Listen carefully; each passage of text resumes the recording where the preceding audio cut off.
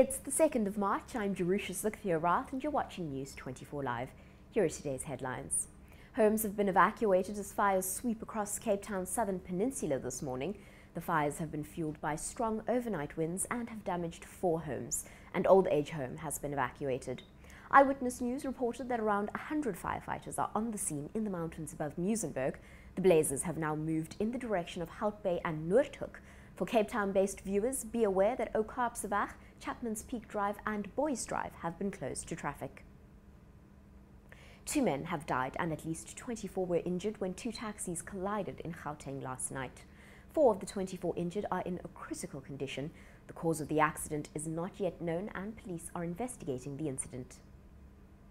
And finally, the Japanese company behind an experimental Ebola treatment has said their treatment is not a miracle drug, but could give hope to thousands infected with the virus. Avigan, which is approved for use in Japan as a flu treatment, is somewhat effective in saving the lives of Ebola patients if administered early. Now, 15% of the 80 people given the drug died from Ebola, but we know that nearly 9,200 people in West Africa have died from the disease so far. We'll be keeping you updated on these stories and more. Stay tuned to News 24 Live.